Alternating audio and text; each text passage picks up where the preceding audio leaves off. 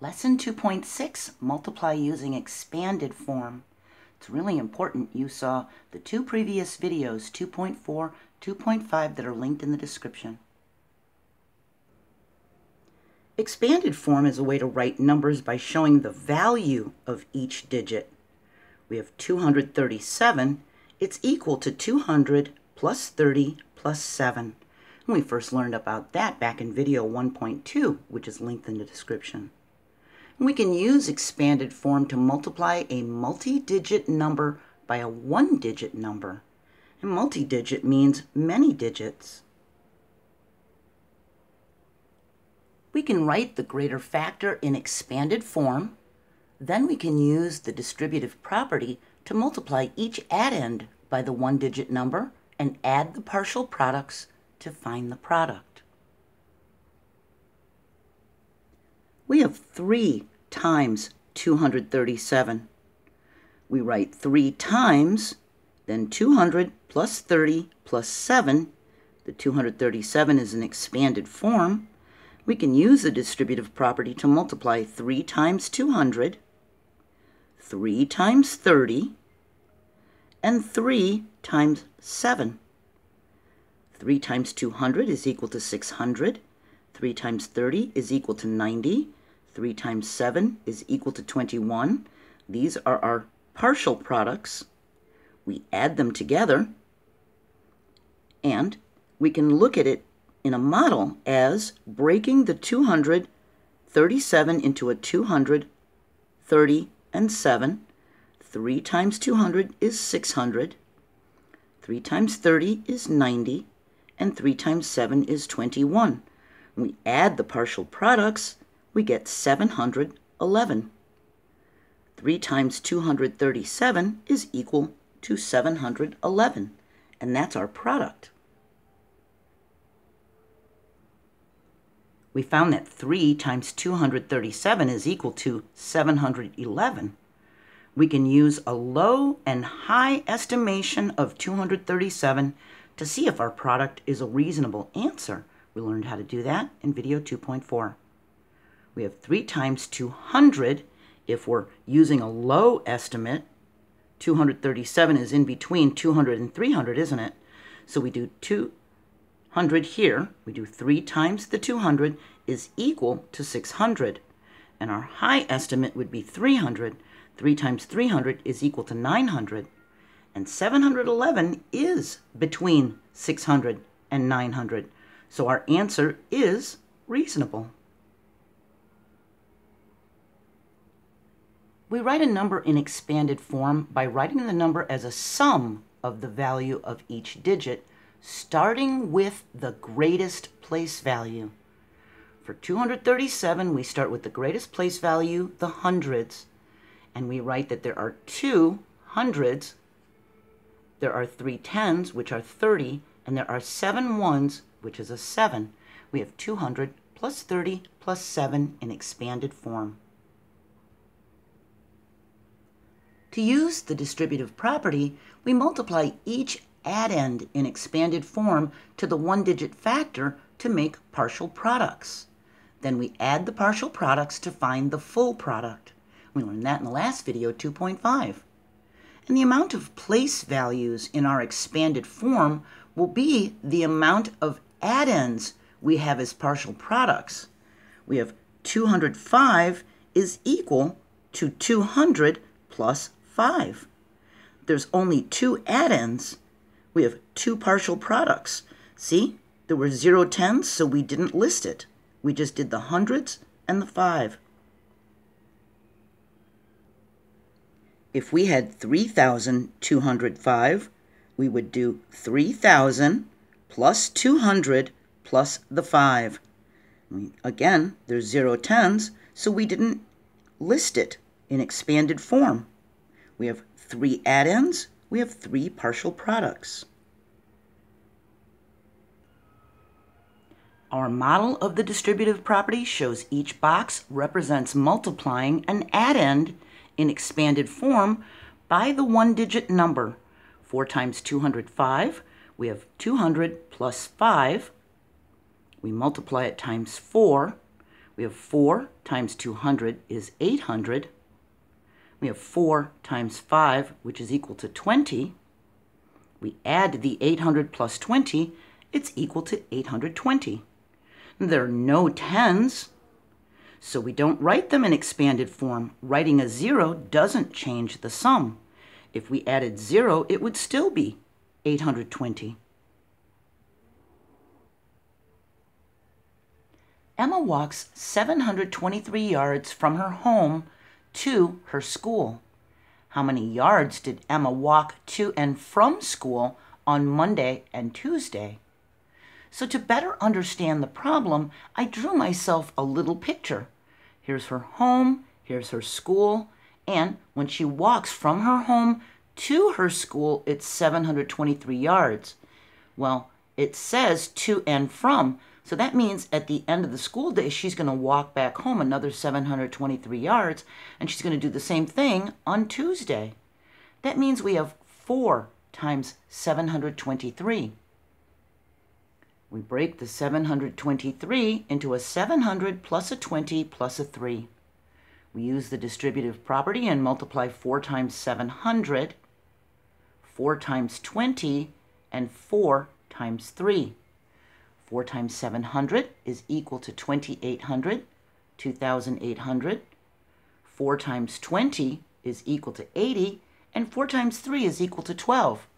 These are our partial products. It's not the full product yet. We add the partial products, and we get 2,892 yards. And do you see I wrote yards here, so I labeled my answer, which you need to do in a word problem. For those who need it, we'll do a couple more quick ones before we move on. We have 5 times 37. We break the 37 into a 30 plus 7. We do 5 times 30, which is 150, and 5 times 7, which is 35. We add them together and get 185. If we had 5 times 637, now we have 5 times 600 plus 5 times 30 plus 5 times 7. 5 times 600 is 3,000.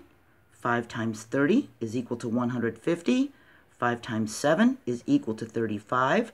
Those are our partial products. We add them and get 3,185 and we can use expanded form and the distributive property to multiply a one-digit number by any multi-digit number. We can even multiply a one-digit number by a number in the millions. Here we have 4 times 3,215. We expand this factor as 3,000 plus 200 plus 10 plus 5. And we distribute the 4 to the 3,000, so we have 4 times 3,000. The 4 to the 200, so we have 4 times 200. The 4 to the 10, so we have 4 times 10. And the 4 to the 5, so we have 4 times 5. 4 times 3,000 is 12,000. 4 times 200 is 800. 4 times 10 is equal to 40. And 4 times 5 is equal to 20. We add our partial products and get 12,860. 18 students joined the chess club. There were three times that much that joined the choir and two times that amount that joined the art club. How many students joined the choir and art club? We need to multiply 18 times 3 to find how many joined the choir Next, we need to multiply 18 times 2 to find how many join the art club. Then we need to add the products to get a total. We have 3 times 18, which is equal to 3 times 10 plus 3 times 8. 3 times 10 is 30. 3 times 8 is 24. We add them together and get 54. For 2 times 18, we have 2 times 10 plus 2 times 8. 2 times 10 is equal to 20. 2 times 8 is equal to 16. And our partial product is 36. We add the partial products, 54 plus 36, we get 90 students that joined the choir and art club. Now, if you notice, we were multiplying 18 to 3 and 18 to 2. Since it's 3 times 18 and 2 times 18, we could multiply 5 times 18 and do 5 times 10 plus 5 times 8 to get partial products, then add them together. Lisa baked eight trays of cookies. Each tray had 15 cookies. She sold 52 of the cookies.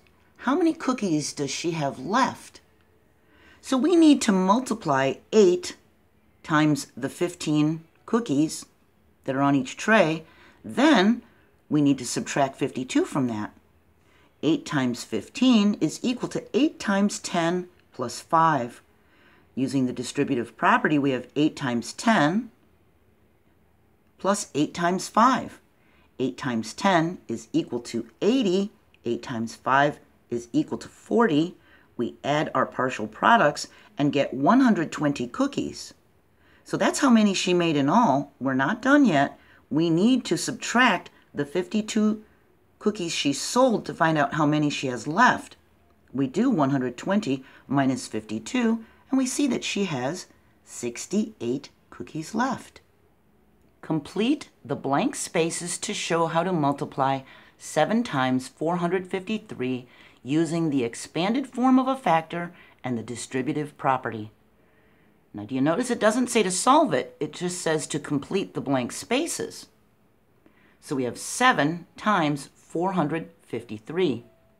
That means we have 7 times we need to write 453 in expanded form here. So do you know what goes there? If you said 400, you're right. Do you know what goes here? If you said 50, you're right. And do you know what goes in the last blank space right here? If you said 3, you're correct. Now, what goes into this blank space? If you said 400, you're right. We're doing 7 times 400. What goes into this space? It's 50. We did 7 times 400. Now we're doing 7 times 50. Do you know what goes there? If you said 3, you're correct. We use the distributive property to do 7 times 400, 7 times 50, and 7 times 3. When we multiply these, we'll get our partial products, won't we? In our next lesson, 2.7, we're going to use place value and partial products to multiply by a one-digit number, and it'll look like this. I hope you're doing well, and I'll see you next time. Bye.